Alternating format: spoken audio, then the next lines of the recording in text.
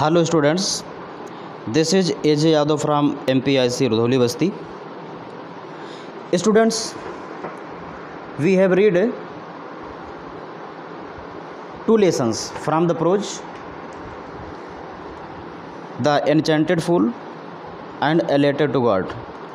We have also studied a lesson from supplementary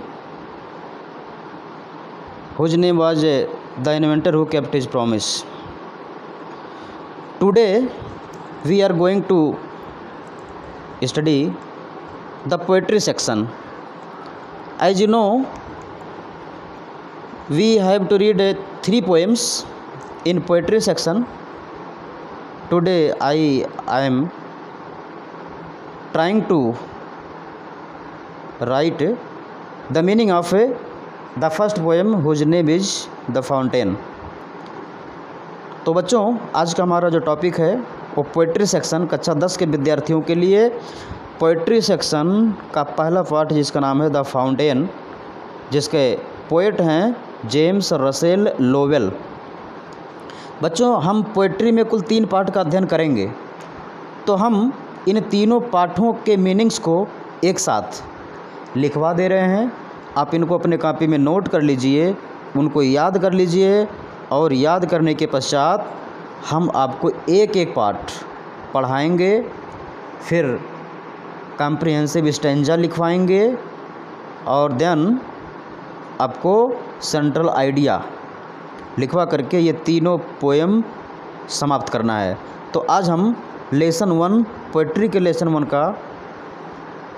जिसका नाम है द फाउंटेन इसका मीनिंग लिखने चल रहे हैं लेखक हैं J R Lowell James Russell Lowell तो चलिए देखें आपका जो पहला माने है फाउंटेन फाउंटेन मीन्स होता है फवारा या झरना सनसाइन मीन्स होता है धूप फुल ऑफ लाइट का मतलब होता है प्रकाश से भरपूर लीप मीन्स होता है उछलना flash means चमकना morn M O R N a morning का शॉर्टकट फॉर्म है इसका मतलब होगा सुबह है whiter W H I T E R whiter means और सफ़ेद स्नो मीन्स बर्फ़ वेब माने हिलना विंड माने हवा एयर माने भी हवा होता है ब्लो माने बहना स्टार लाइट मीन्स होता है तारों का प्रकाश rush R U S H rush माने भागना या दौड़ना इसी माने भीड़ भी होता है स्प्रे मीन्स फुहारा होता है मिड नाइट मीन्स होता है बच्चों आधी रात एवर माने हमेशा motion M O T I O N motion means गति blithesome B L I T H E e, S O M E e, blithesome माने होता है प्रसन्न या प्रफुल्लित cheery C H double E R Y cheery means होता है प्रसन्न चित्त स्टिल माने सदैव या फिर भी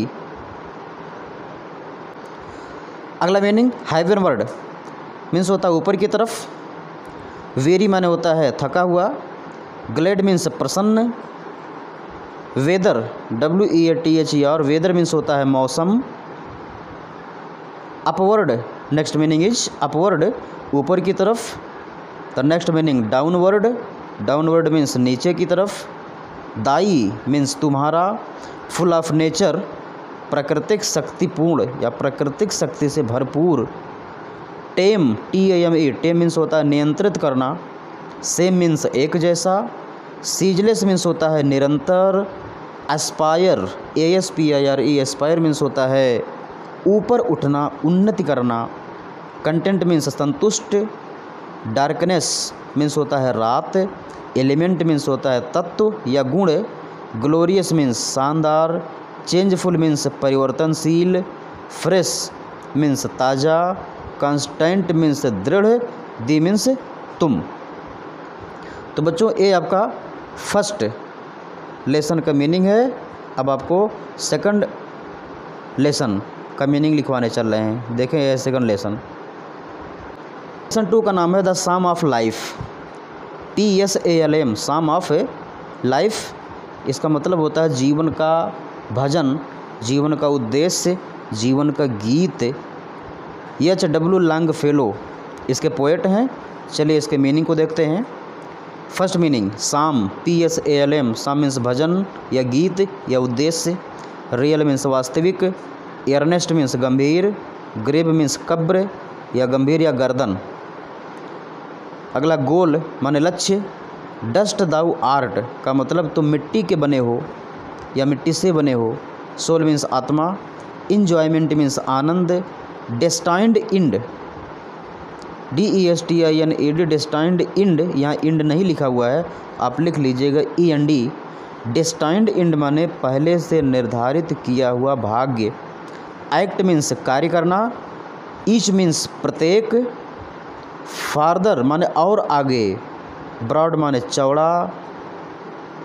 नेक्स्ट मीनिंग है battle B A double T L E battle means युद्ध bivouac B I V O U A C बेबियों का माना होता है सिपाही सिपाहियों का खुला हुआ कैंप जिस पर कोई सुरक्षा नहीं होती है dumb D U M B dumb means गूंगा जो बोल ना सके ड्रैगन कैटल मीन्स होता है नियंत्रित पशु हीरो मीन्स नायक वीर स्ट्राइफ मीन्स संघर्ष बी अप एंड डूइंग का मतलब होता है उठकर काम में लग जाना फेट फेट मीन्स भाग्य अचीव मीन्स प्राप्त करना परसू मीन्स पीछा करना लर्न मीन्स सीखना लेबर मीन्स परिश्रम करना और वेट मीन्स प्रतीक्षा करना यह आपका सेकंड लेसन का मीनिंग यहाँ एंड होता है अब हम लिखेंगे लेसन थर्ड का मीनिंग लेसन थर्ड का नाम है द विलेज सॉन्ग गांव का गीत इसके पोएटिस हैं सरोजनी नायडू जिनको भारत कोकिला के नाम से जाना जाता है इनके इस पार्ट के मीनिंग को हम देखते हैं फर्स्ट मीनिंग हनी मीन्स शहद हुदर मीन्स कहाँ कास्ट मीन्स फेंक देना जोयल मीन्स रत्न ब्रीज मीन्स ताज़ी हवा ब्लो मीन्स बहना लीव मीन्स छोड़ देना गोल्डन ग्रेन्स का दाना फीड मीन्स खिलाना grieve G R I A V E grieve माने दुखी करना लवर मीन्स प्रेमी राइड मीन्स घुड़सवारी करना वेड माने विवाह करना माइन मीन्स मेरा वर्ल्ड माने जंगली चंपा मतलब चंपा एक प्रकार का फूल का नाम है बाऊ मीन्स शाखा बड माने कली कोयल मीन्स कोयल हांटेड माने प्रभावित भूतहा भी होता है isles I S L E S isles पढ़ा जाएगा इसको माने द्वीप a place of land surrounded by water all around is called isle lily means कोमुदनी glisten means चमकना फेरी फॉक मीन्स परियों का समूह प्लेजर मीन्स आनंद ब्राइडल सॉन्ग वैवाहिक गीत cradle song C R A double D L E cradle song means लोरी बच्चों को सुलाने के लिए जो माताएं गाना गाती हैं that is called cradle song sandal means Chandan